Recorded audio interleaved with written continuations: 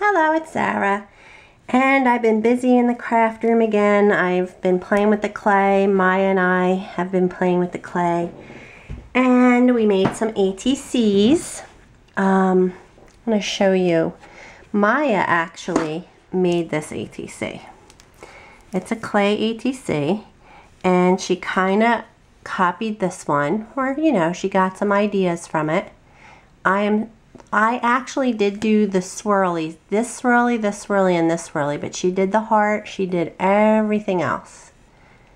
And I think it's amazing. She did such a great job. Um, and then I was working on this one at the same time, based on this little bottle of hope.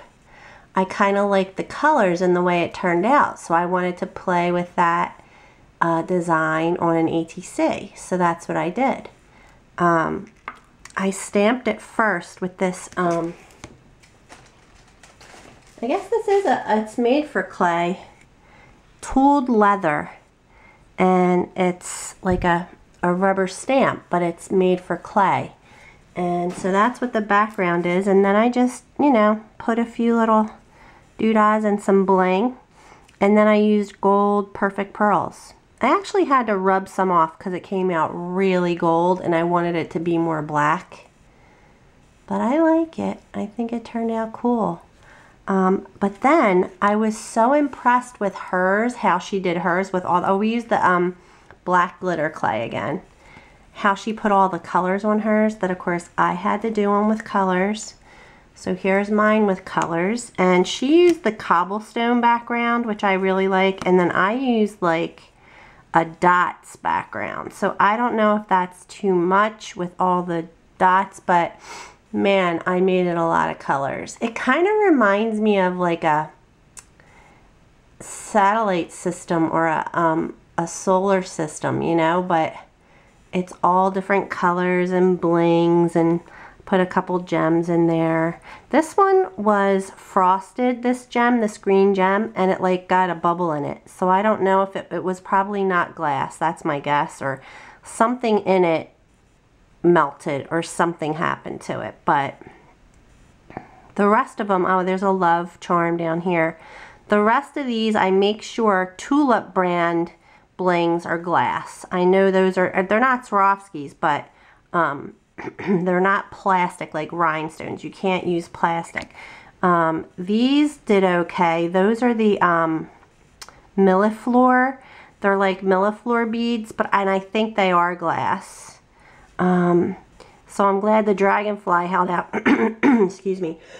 Because sometimes you get charms and you're not, you don't know what they're made of. So this goes up to about 275 degrees, I think, for um, 30 minutes. So mm, I guess that's hot enough to melt certain things.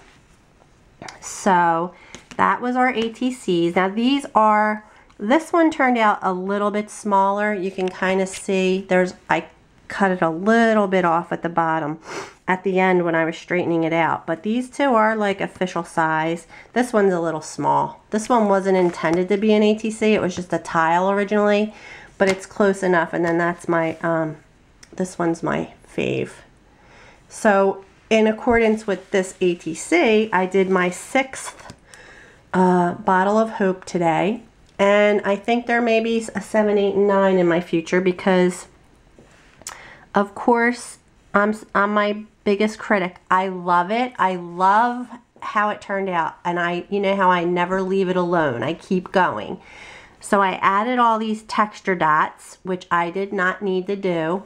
I loved how I um, put the clay on the bottle. I totally, because um, if you look at this one, I had, well, I texturized it first, but I covered um, the neck of the bottle with this twist because I was disguising the bumpiness and stuff. This one, I just did it in sections and blended it in, and I just love how it turned out. But, of course, I don't love my hope. My hope turned out crooked, and I was hoping that it would show up as, as dark as this one did.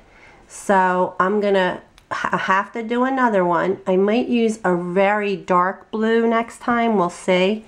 We'll see. But I, of course, I had to do my charm and I love that. So I just put a Hope charm. I love the neck, this little bit of color up here. And then just um,